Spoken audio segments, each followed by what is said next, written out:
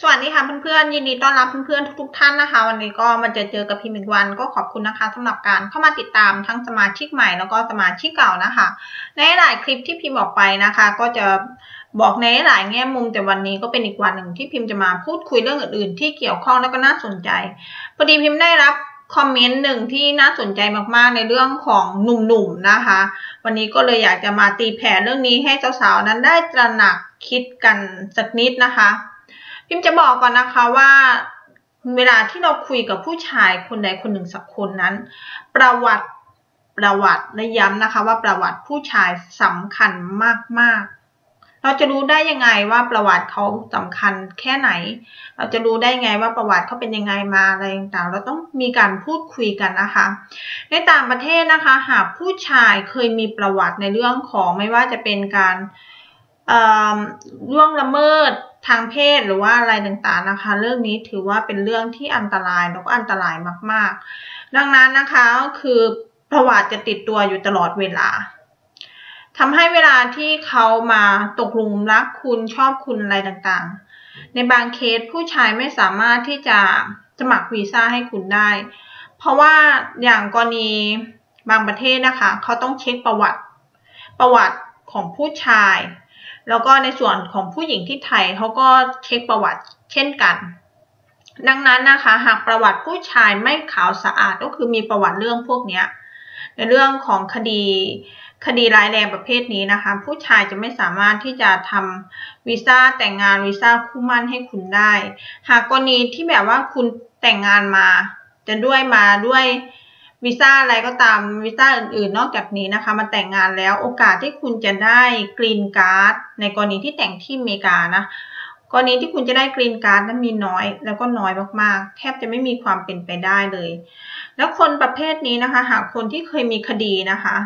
คดีประเภทนี้หากแต่งงานมีลูกมีเต้า เวลาที่ลูกเข้าไปสมัครงานในในหน่วยงานของรัฐอะไรต่างๆนะคะ เขาก็จะเช็คประวัติพ่อแม่ว่าพ่อแม่นั้นเคยมีประวัติอะไรหรือเปล่าหากมีประวัติคดีพวกนี้นะคะ โอกาสที่ลูกนั้นจะได้ทำงานนั้นก็มีน้อยมาก และที่สำคัญในสังคมตะวันตกนะคะ เรื่องพวกนี้ถือว่าเป็นเรื่องร้ายแรงมาก และเวลาที่จะไปเช่าอพาร์ตเมนต์อยู่เขาจะบอกเลยนะคะว่า ให้ห่างไกลจากโรงเรียน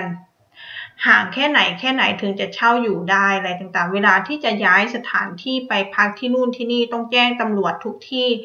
ดังนั้นนะคะเพื่อนๆพิมพ์อยากให้คุณตระหนักคิดนะคะว่า เวลาที่คุณคุยกับผู้ชายและผู้ชายมีประวัติพวกนี้นะคะ คิดให้ดีคิดให้หนักโอกาสของคุณนะคะในเรื่องของชีวิตในต่างประเทศมันมืดมนมาเลยนะคะ พิมบอกเลยนะคะว่ามืดมนไม่มีทางที่จะเป็นไปได้เลย บางเคสนะคะ ผู้ชายนั้นบินออกจากประเทศไม่ได้นะคะมันมีเคสหนึ่งนะคะที่แบบบินไปที่ไทยตำรวจเข้าไปจับถึงในเครื่องเลยนะคะ ใส่กุญแจมือเอาออกมาเลย คือเขาไม่ให้บินออกนอกประเทศ เพราะคดีพวกนี้นะคะ มันมันร้ายแรง ดังนั้นนะคะ ผู้ชายของคุณนะคะ ต้องมีความขาวสะอาดถึงร้อยเปอร์เซ็นต์นะคะ พิมพ์บอกก่อน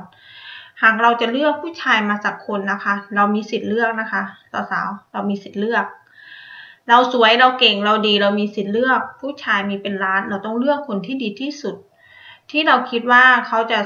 ทำให้ชีวิตเราแฮปปี้เวลาที่เรามาอยู่ต่างประเทศอย่างน้อยๆเราก็มาทำงงทำงานหาเงินได้อะไรต่างๆ แต่ผู้ชายที่พาเรามาและผู้ชายที่เราอยู่ด้วยนั้น จะต้องเป็นคนที่มีประวัติขาวสะอาดที่ไม่มีผลกระทบต่อตัวของคุณเอง ดังนั้นนะคะเลือกนะคะเพื่อนๆเลือกให้ดี ดูให้ดีนะคะ หากเขามีประวัติพวกนี้บอกตรงๆว่าคลิปคอนแทคได้แค่เพื่อนนะคะ อย่าคิดเลื่อนสถานะเป็นอย่างอื่น เพราะหากวันหนึ่งที่คุณคิดจะเลื่อนสถานะเป็นอย่างอื่นนะคะ พิมพ์บอกเลยว่าความเป็นไปได้มันศูนย์เปอร์เซ็นเลยนะคะ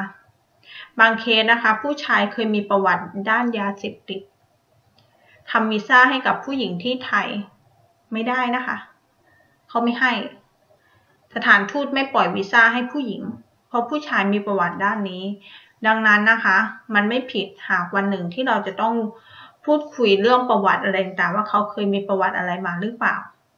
หากกรณีที่คุณคิดจะสารสัมพันธ์กับเขาอย่างจริงจัง เรื่องพวกนี้คุณจำเป็นที่ต้องรู้ ถามว่าเราจะไปล่วงละเมิดถามเขาในครั้งแรกเลยไหม มันก็ไม่ใช่ ก็เหมือนคุยกันมาสักพักหนึ่ง ก็คือมันจำเป็นที่ต้องพูดคุยกัน เพราะเรื่องนี้มันถือเป็นเรื่องสำคัญหากวันหนึ่งที่คุณคิดจะแต่งงงแต่งงานมั่นหมายกับคุณพวกนี้นะคะ คุณต้องดูว่าผู้ชายนั้นประวัติเขาเป็นแบบไหน มีการหย่าร้างมีอะไรหรือเปล่าบางคนแยกกันอยู่กับเมียอะไรต่างคุณจะเข้าไปแทรกไปตรงกลางอะไรระหว่างเขาอะไรต่างมันไม่ได้ มันต้องดูทั้งหมดไม่ว่าจะเรื่องของประวัติไม่เรื่องแต่เรื่องของการหย่าร้างอะไรต่างๆ ประวัตินี่คืออันดับหนึ่ง ที่คุณต้องพิจารณาเลยนะคะ วันนี้ก็มาพบปะพูดคุยเพื่อนๆแค่นี้นะคะ ก็ขอแรงกายแรงใจเพื่อนๆช่วยกด subscribe